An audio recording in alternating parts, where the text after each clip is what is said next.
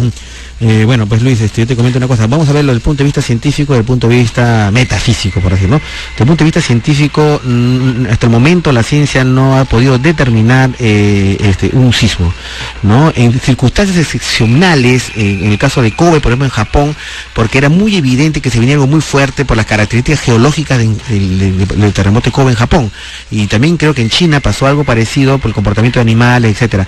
Pero en líneas generales, en forma estándar, la ciencia no ha logrado de, predecir, tener una tecnología, una técnica, un sistema, un proceso científico para determinar cuándo va a haber un sismo. Eso lamentablemente eh, a esta altura está eh, eh, la predicción de terremotos, ¿no? O sea, definitivamente de que Lima, en realidad todo el Perú, en realidad toda la costa sudamericana, a un momento, que puede ser el día de mañana, puede ser de aquí un año, puede ser dentro de 10 años, porque estamos en el círculo de fuego del Pacífico.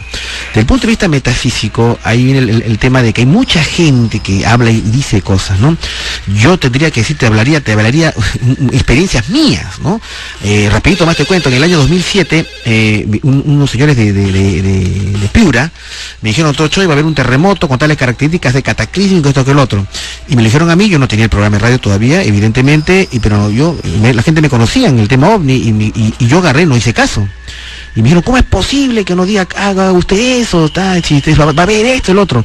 Yo no hice caso y no hubo nada no hubo nada. Ahora, y claro, hubo después lo del sismo de, Pisco, eh, etcétera, pero no, tenía nada que ver con la información que dijeron ellos. Ahora, esta misma gente está sacando en internet diciendo que va a haber otro sismo en Lima, entonces ya uno se pone a pensar, pues ya, si están buscando figuración, etcétera, ¿no?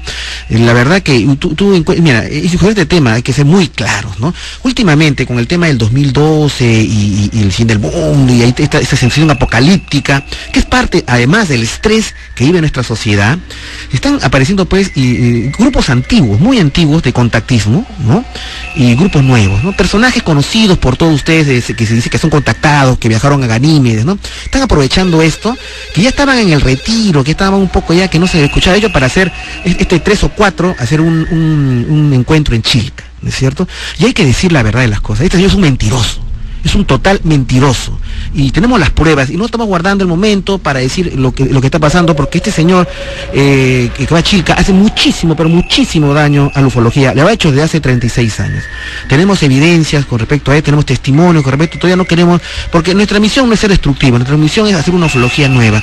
Pero estamos cansados de que este señor vaya a un lugar en el que siempre hay avistamientos si uno va a Chilca, nosotros hemos estado en Chilca hace muy poco, en, la semana de Chilca, y uno conversa con los pescadores, y uno dice, bueno, acá hacen constantemente avistamientos sin necesidad de, ser ninguna agrupación, de rezar, de orar, de agarrarse las manos, ¿no? Siempre hay avistamientos. Entonces, gente que se aprovecha de eso, convoca al lugar, y bueno, cuando ve un avistamiento, dice, ah, es por mí, es porque yo fui el elegido, yo fui el, ¿no?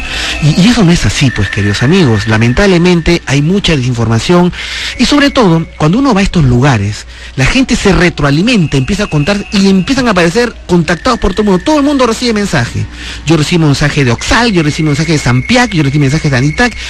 Y yo acabo de recibir, por ejemplo, un ejemplo muy rápido, ¿no? porque hay, que hablar de un programa sobre esto especialmente, y vamos a hacerlo, como no. Yo acabo de recibir hace poco información de este mismo grupo del año 76, información eh, fidedigna, real, que lo fue encontrada de un baúl de este grupo cuando empezó, ¿no? Bueno, año 76 y año 75. Uno lee la información que dice y ahí habla este, estamos hablando del grupo Rama, el grupo Rama, con toda su Rama, año 75. Información que fue encontrada en el baúl de uno de los grandes fundadores del grupo Rama, ¿no es cierto? No voy a decir el nombre.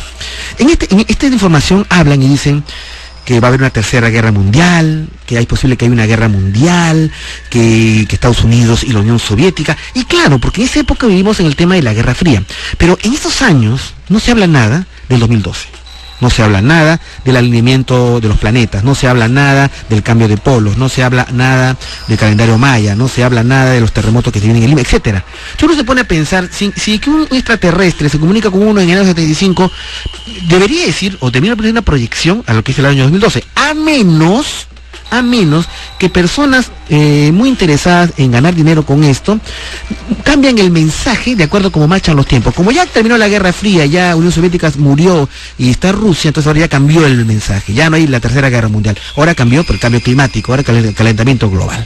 ¿No es cierto? Ahora ya es otro el tema, otro es el 2012. Y bueno, tienen para lucrar todavía dos años más, ¿no? Hay que tener mucho cuidado. Hay, el contactismo es un tema muy precioso, muy interesante. Hay gente contactada tiene mensajes interesantísimos, como el, este señor, Fernando Castillo, que hace poco estuvo con nosotros, pero también hay mucha confusión, hay mucha manipulación, hay, el teléfono malogrado.